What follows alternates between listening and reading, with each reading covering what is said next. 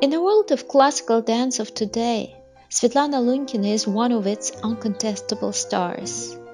She was trained in the Moscow Ballet Academy and received her first big role of Giselle in the eponymous ballet at the age of 18 on the stage of the Bolshoi.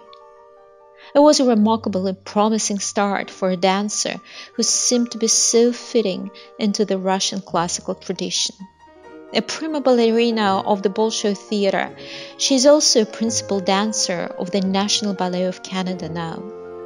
Listening to one of Svetlana's interviews recorded in 2009 in Moscow triggered my desire to have my own conversations with her on different subjects that bear importance in her artistic life.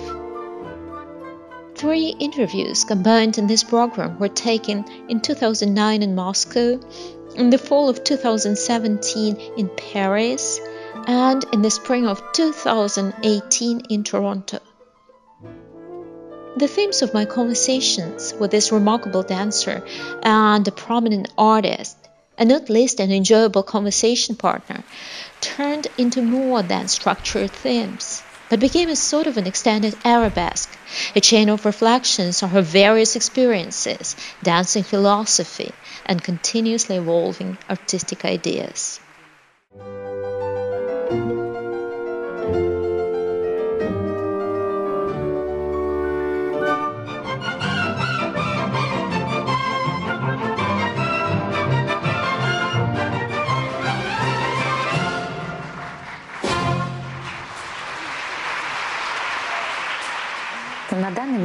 Э, at that point, despite the fact that I loved my work in the theater so much and was so passionate about it, but at that moment when we were expecting our second child, I surprised myself because I'm someone who loves the theater, but I now lived in a different world. It may sound strange, but the theater world didn't attract me as much at this moment. To the contrary, I was trying to protect myself, maybe to hide from the theater life in order to return to it later, to return and to take it in full. Almost 10 years elapsed since that amazing interview in 2009 in Moscow, the fragment of which we just heard. It surprised me. You sounded so decisive to stay away from the theater, at least for a while. What was that auspicious moment in your life and what happened next? It was a particular moment, the birth of our daughter Eva. And of course, it's a very cherished moment in the life of a woman, the birth of your second child. I was so happy. It was very special in my case. It occupied me completely. I could not think at that moment about dancing what I would like to dance, what roles were waiting for me. You understand something that a ballerina dreams of daily, namely your thoughts about your future roles. But it didn't occur to my mind. I couldn't think about anything else but the birth of my daughter. I was thinking about what name I should give her, how she would come to the world. It was my life then, and I still live this feeling every day of my life now. I'd say that your family life was never a background to your dancing career. No, family will always be in the center of my life. With Eva, though, it was very different. Doctors advised us to spend more time with her to prevent her health problems, so I continued to breastfeed her. It truly helped her. So I could think about no other matters but her health.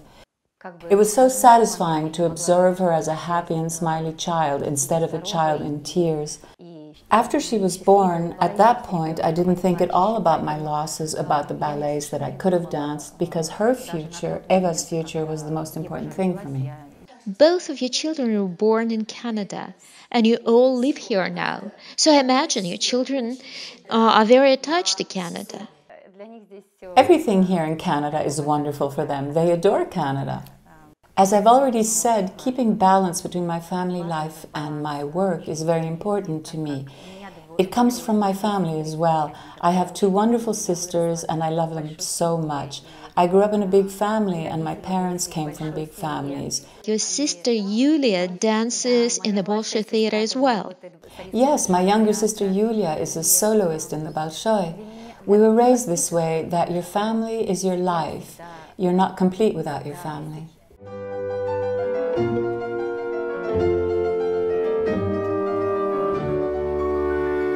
Svetlana, you have worked with many outstanding choreographers of today.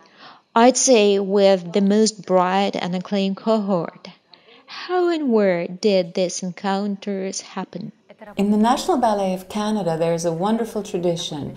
Every time a new ballet is added to the repertoire or the already performed ballet is restaged, the company has an opportunity to reinvite the choreographer who created it if we are talking about current ballets and a living choreographer. Sometimes a choreographer comes to adjust certain things because of new dancers who didn't participate in this production before. This is a tremendous opportunity to work immediately with many contemporary choreographers and to receive their ideas directly from them, even if you've danced the ballet before. These procedures are not typical for every company, so it's a remarkable feature of the National Ballet of Canada. Thanks to Karen Kain, our artistic director, who organizes choreographers' repeated visits to our company. This allows dancers to maintain the choreography in a certain purity and essence. This helps us to preserve all the nuances of choreographic ideas.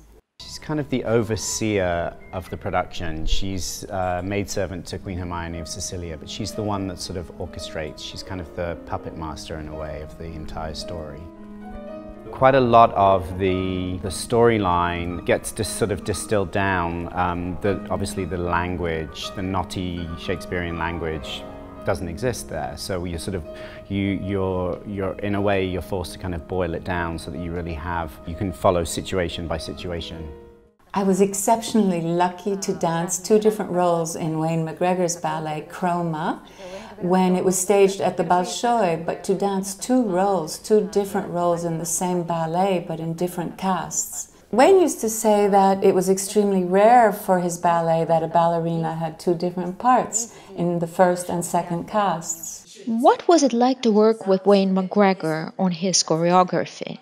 It took our full days in the Bolshoi, six hours every day. We rehearsed three hours with one cast and three hours with another cast.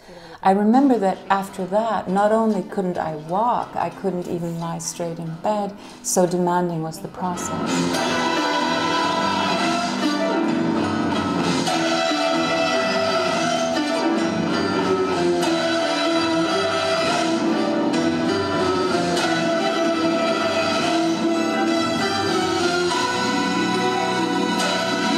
You have to be always present and alert 100% of the time with him you can never be half prepared. He comes, for example, takes your leg and shows you where your split should be, in his view, and then he stretches your leg even further. He has a very particular vision in the studio rehearsals. He observes his dancers very closely from all possible points to increase your potential, to see where you can push it further to a new extreme. And he surprises you every time because you don't exactly understand the full capacity of your body. When you work with him, a dancer gets a sense of the unlimited possibilities of the body. This discovery happened at my first working encounter with McGregor. You know, working with McGregor always requires that you give yourself fully to the process. It takes many hours of work in the studio, and it's always imperative with him that a dancer keeps studying his own body. There's no limit to where you can reach. There's no box into which you place yourself as a dancer. And go, whum. Yeah, great, Ikita. Whum, Chelsea Fab. Now, this is here. Whum, and through and into it. Even more, darling. Even more. More lightness. Whum. Ma, more buoyancy. That's it. Great. Keep going. Wham. Da da da. Okay, we're there. Fantastic. Then Wait, go as if you mean it. Yeah, go as if you mean it. Yeah, really take a risk. Yeah, really like you're going to right into it. Take a risk. Guys, watch out. She's going to go. Whoom. There we go. Gorgeous. Jadam, bay. Wham. Bam. Jadam. Jadam. Just stop a second, Fab. Really nice job. Can I just see that was really nice? Can I just see, think of it as an arc rather than a straight line. The lift. Bam. Way. Um. Yeah. Have a little look. Here we go. Ready? And jump. Down. Yay. Down. Voilà, boy, I'm gorgeous. Okay. It seems that you want to say that to some degree McGregor provokes dancers to reach farther. Yes, he provokes you to escape the fears of what your body cannot accomplish. And he provokes you to trust yourself, to transgress the limits of your body. That you have danced two roles in John Neumeier's ballet Nijinsky the role of Romola, the wife of Václav, and also the role of his mother. Now you are rehearsing a new role, that of Anna Karenina, again in the eponymous ballet by John Neumeier. And this again is a deep character, a tragic destiny of a woman who sacrificed her past for the big love and succumbed under the pressures of her social circle. Could you please tell us what these rules give you in the artistic and in the human aspects? This is all given to me by John Neumeier. It starts in the studio during rehearsals. When you work with him in the studio, there are no words to describe this experience. When you're with John in the studio, you live every second of it. He requires a maximum of attention and concentration from you. You cannot neglect a smallest detail with him. Even the simple movements that he shows, a turn of the head, arms, the direction of your gaze, all is so concrete and important for the role you create. Any role, any moment or second that you spend with John Neumeier working on any of his creations changes you from a mere dancer to an artist. This is unconditional abandonment to the role, not just the dance, because he requires you to open your heart, your soul, your thinking to him. Otherwise, you cannot exist in his choreography.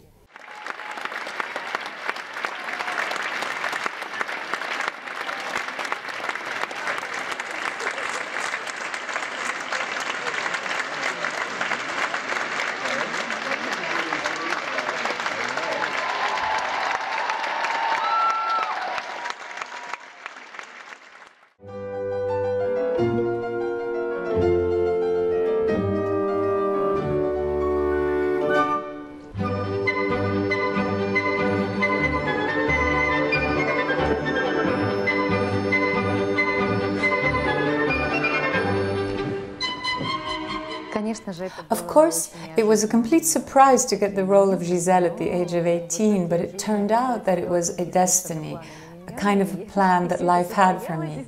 So it happened a performance, the theater, my dancing of Giselle.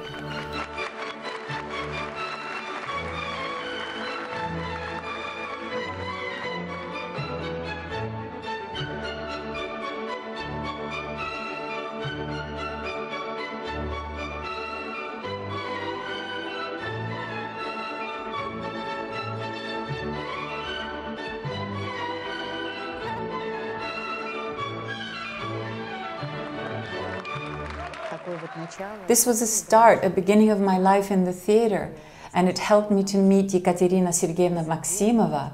We started to work together. All of my roles in the Bolshoi were prepared with her. It's always interesting to work with her.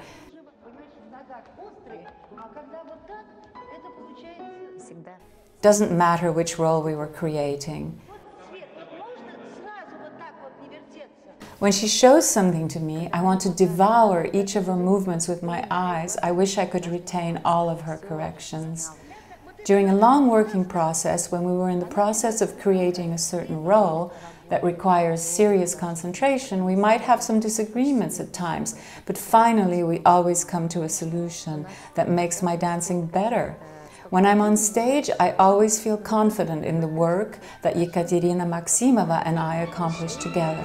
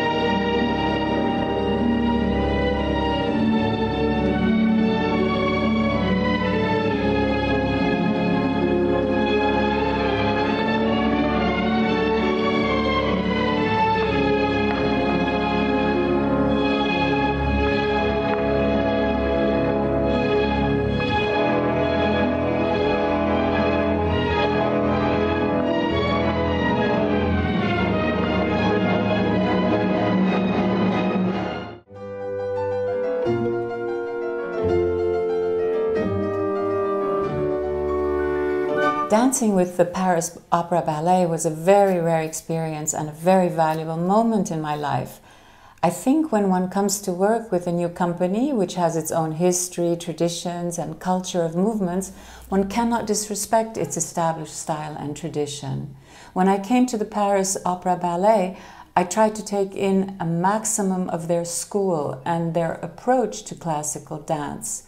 I tried to absorb their style and a very polite and respectful work with the body that leads to a better understanding of choreography. When I started to work in the ballet Nutcracker, were you invited to the Paris Opera Ballet to dance specifically the Nutcracker, choreographed by Nureyev? Yes, it was specifically for this ballet. It's one of the most difficult nutcrackers to dance at the beginning, it was very hard to make my first steps in his choreography. It's a very difficult choreography in terms of its technical complexity and physical and choreographic aspects.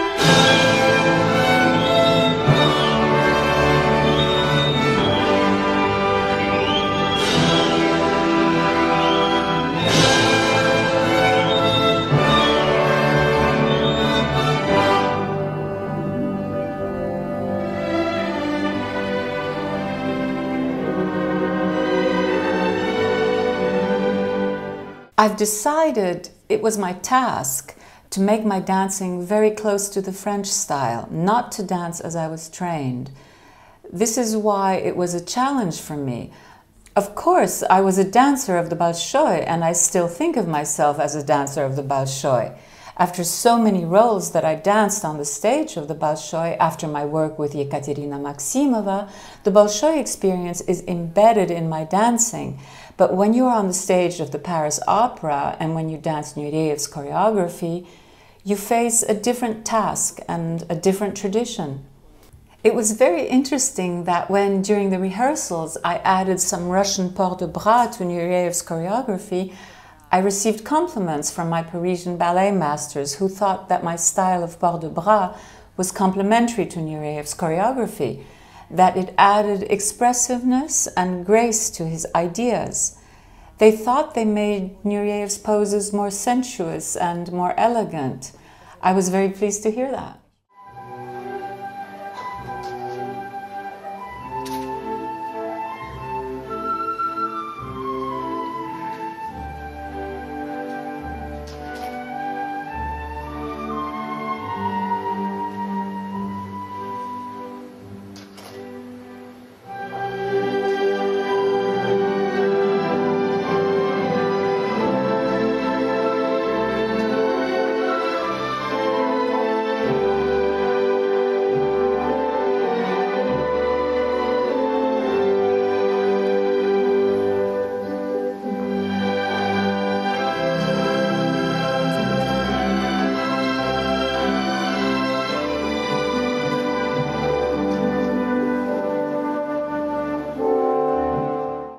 It's very exciting to observe the development of the dance of today. Choreography gets more complex, artists improve their technical skills and show their almost unlimited abilities. But neoclassical language gives choreographers something extra. It opens new possibilities for them. It gives them new ways of interpreting classical language. It can be found in certain freedom of style, for example, new port de bras, new technique, new poses. But all these innovations do not destroy classical forms.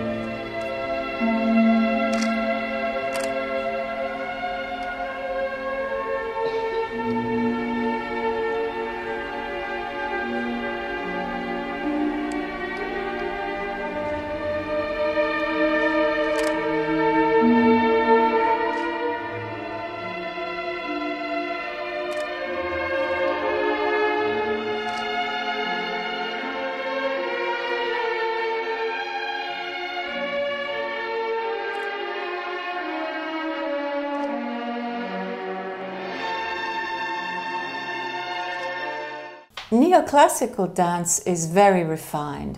As a dancer, I should be extremely attentive to every aspect, every position, as they define your understanding of the style and the choreography. I have to be very precise in my interpretation of the choreographer's ideas. This, however, must be a secret of dance in general, in all of its multiple forms and genres, not only of classical dance, but of neoclassical and of contemporary.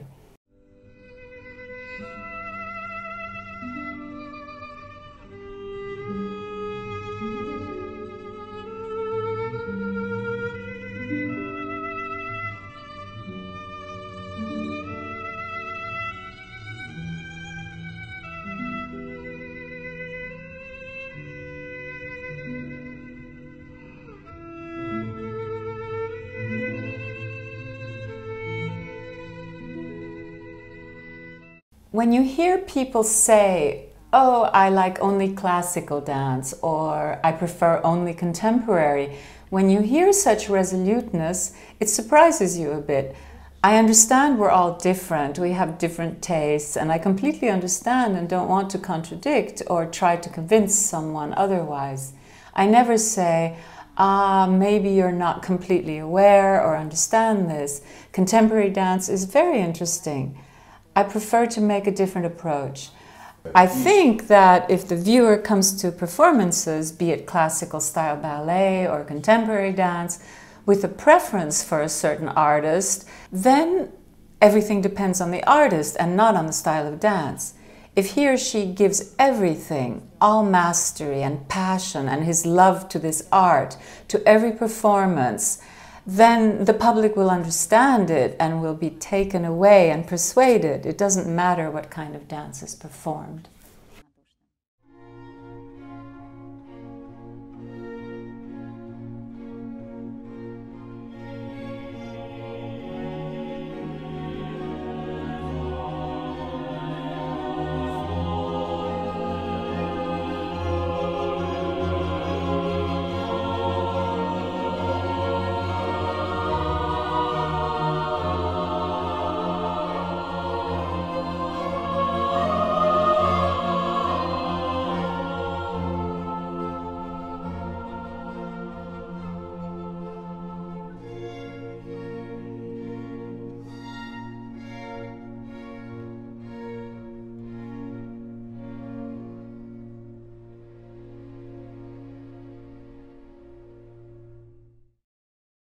Perhaps now I can express this rich intersection of classical and neoclassical in my new roles and my already lived through roles, those that follow me through my career. For example, my Giselle. I cannot and don't want to pretend to dance this role as I did when I was 18. I think that the public will always appreciate this kind of honesty and integrity that an artist puts in his work. This is what the public appreciates.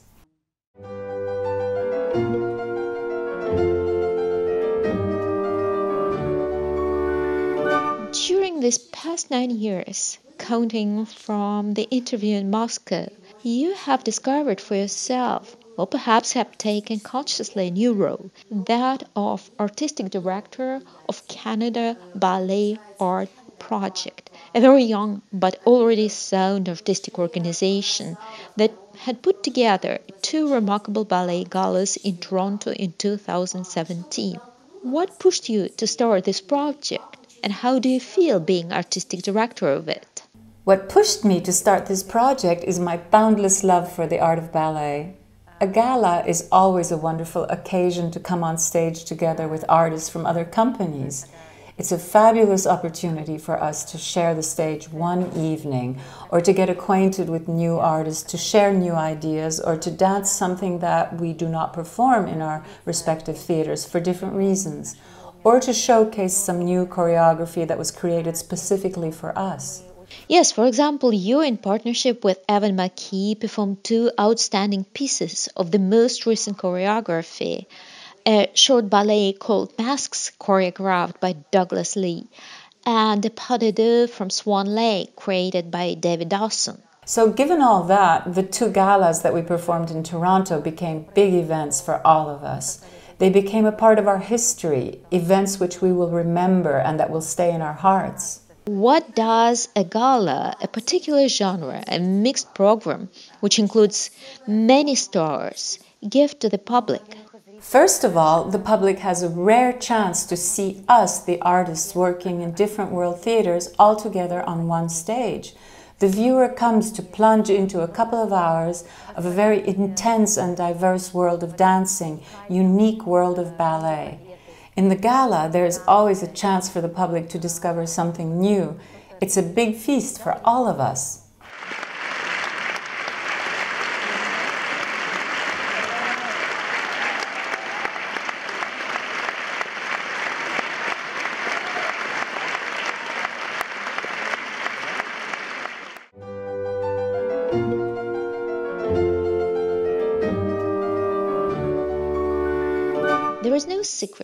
That a career of a ballerina happens during a focused period of time. It is an objective side of this profession to some extent. I know that the public will enjoy your wonderful art for many years to come. But I, I cannot believe that you, and others of such insightfulness, haven't yet contemplated your future. Or maybe some kind of transition from dancing. Yes, one understands certainly that this moment may come, and in principle, it doesn't matter whether you are a leading soloist, a prima, or a corps de ballet dancer. It's always not very easy for all of us. I don't know and can't tell you yet how this transition will happen in my case. I don't know when it will actually happen. But I can tell you with certainty that I would love to share my experience. I would love to give others what my teachers passed on to me. I would like to stay in this profession, but might be in a different emploi pedagogical, theatrical, to devise or to administrate dancing events. But again, staying close to this dancing world. I think I will continue most probably in dance and with dance. My tactless question about the moment of farewell to the stage was caused by a recent chain of retirements of the stars from the Paris Opera Ballet, Aurélie Dupont and then Marie-Agnès Gillot, for example. Though it is well known that the Paris Opera Ballet has an official retirement age, that of 42. There was a big press around the retirements of these big ballerinas, but they continue to dance. Such a fixed age perhaps does not exist in other companies. If you're still young in your body and your spirit, then your body still has an incredible range of opportunities. And if you work in classical along with contemporary repertoire, then you can dance much longer.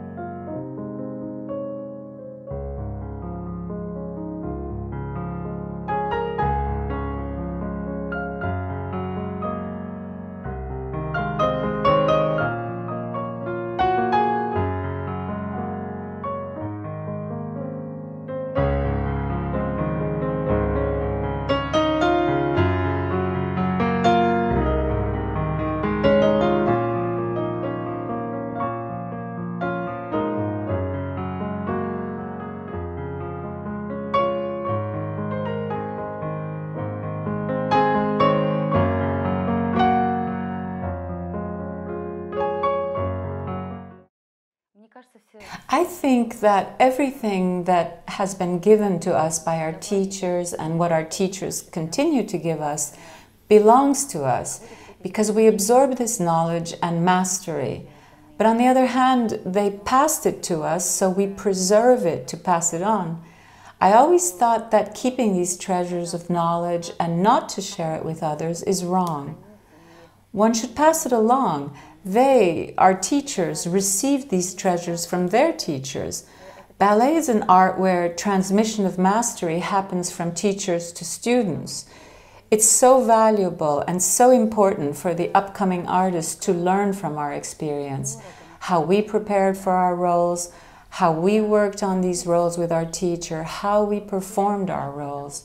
I don't think this knowledge belongs uniquely to us. It's imperative to share and pass it to the younger generation. Svetlana, would you like to try yourself on stage as a dramatic actress? In a play, for example? I still have an incredible chance to create some dramatic roles as a dancer. For example, I'm so eager to start rehearsing with John Neumeier for the role of Anna Karenina. I wait for this moment with impatience.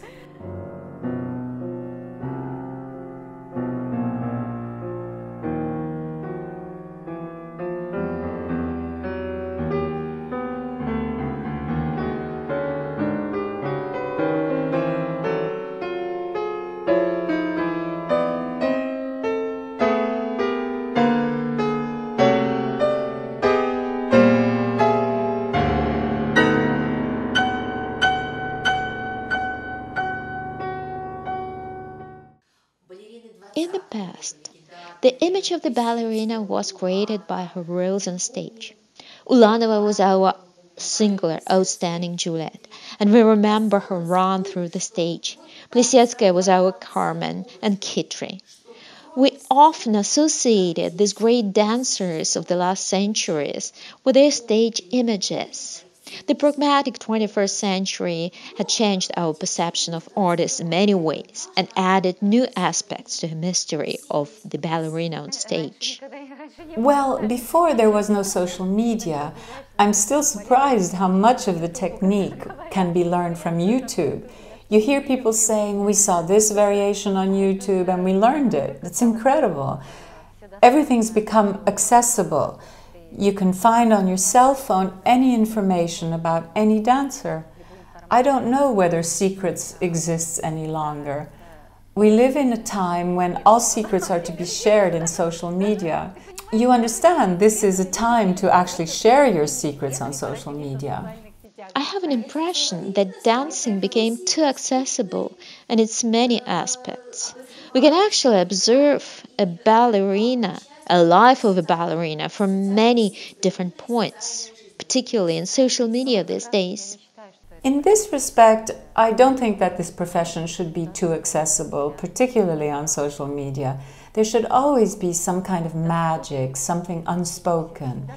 There should be something that doesn't allow a simplified, a full understanding and access to how the art is made, how the moment of art happens. Otherwise, the art becomes as prosaic as daily life that comes and goes, and then the magic may disappear.